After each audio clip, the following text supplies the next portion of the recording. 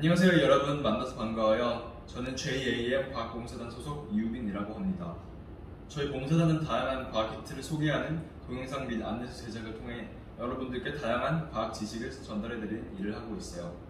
오늘은 여기 보이시는 것 같이 LED CD 공중부양 팽이 키트를 사용해서 직접 이렇게 결과물을 만들어보고 또한 이것을 가지고 놀아보면서 첫 번째 자석의 성질, 두 번째 팽이의 성질, 그리고 세 번째 LED 전구의 특징을 알아보는 그리고 탐구하는 시간을 가질 거예요.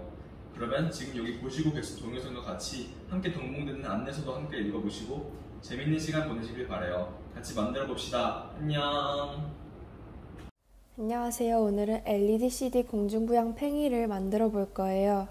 이제부터 준비물 소개를 해볼게요. 저건 LED고, 저건 구슬 EVA 접착면이고, 하얀색 원은 원형 EVA 접착면입니다. CD는 팽이의 본체가 될 것이에요. 자, 그러면 먼저 어두운 면이 위쪽을 향하도록 CD판을 눕힌 채로 가운데 원형 구멍에 유리구슬을 놓으세요. 여기서 조심. 확인 꼭 해주세요.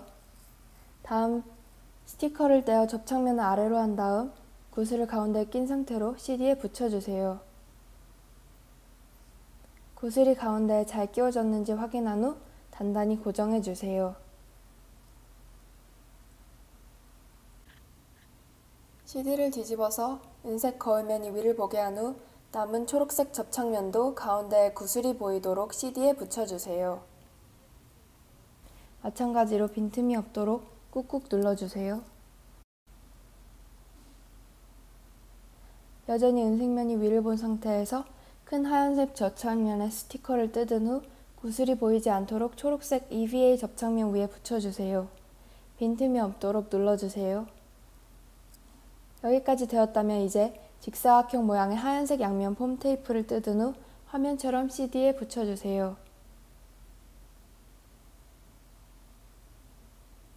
한쪽이 다 되었다면 이제 남은 하얀색 직사각형 양면 폼 테이프도 반대편 같은 위치에 붙여주세요. 이때 구슬을 중심으로 두 테이프가 양쪽으로 대칭이 되어야 해요. 이후 양면 테이프 접착면에 붙어있는 비닐 종이를 벗겨주세요. 반대편의 접착면의 비닐도 똑같이 제거합니다. 다음은 LED를 꺼낸 후 하얀색 스위치가 위를 보도록 테이프 위에 잘 붙여주세요.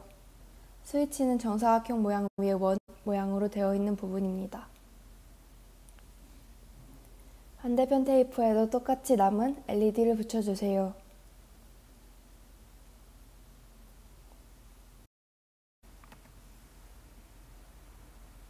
옆면으로 보면 이렇게 생겼어요.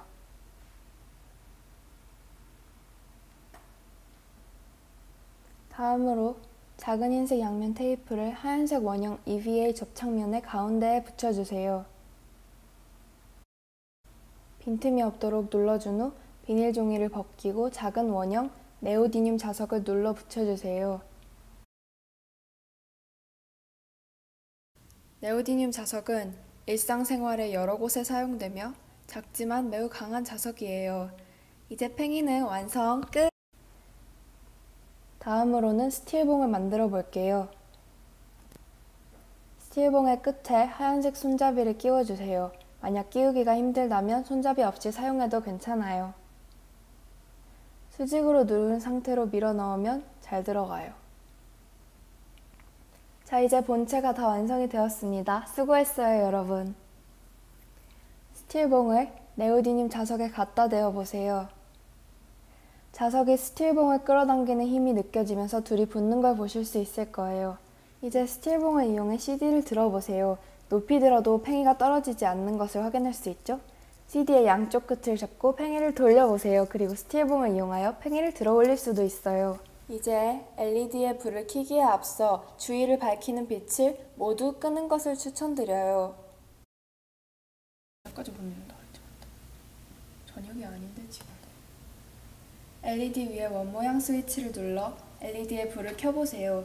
한 번씩 더 눌러보면 불빛의 패턴도 바꿀 수 있어요. 불이 켜진 상태로 팽이를 돌리고 스틸봉으로 팽이를 들어 올려보세요. 팽이가 돌아가면서 다양한 불빛 패턴들이 어떤 모양을 만들어내는지 탐구해보세요. 친구들과 누가 누가 팽이를 더 오래 회전시킬 수 있나 겨뤄보세요. 여러 명에서 함께 팽이를 돌려서 예쁜 작품을 만드는 것도 재밌을 것 같지 않나요?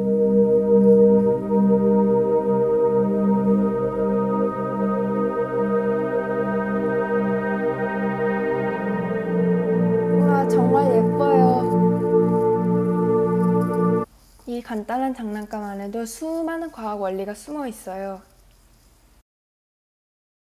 첫 번째 과학 원리로는 LED 전구가 있어요.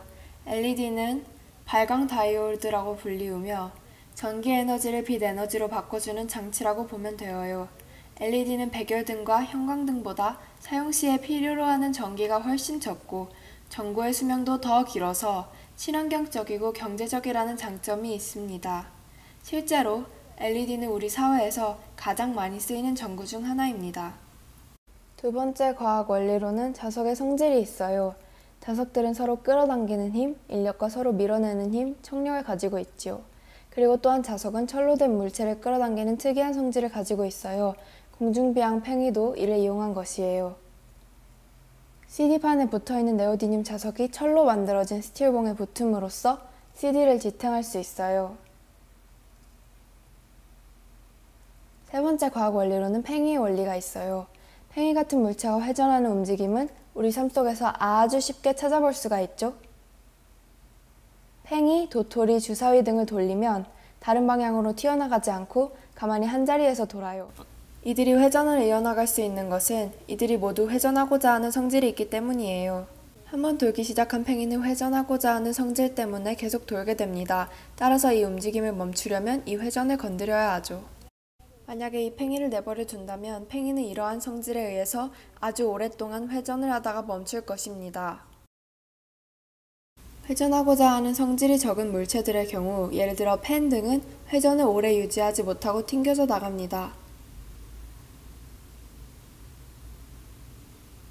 스카치 테이프도 마찬가지죠. 여러분, 오늘 공중부양 팽이를 만들어 보았는데요. 어땠나요? 유익하고 즐거운 시간이었기를 바라고 우리 모두 즐겁고 안전한 여름방학 보내요. 안녕.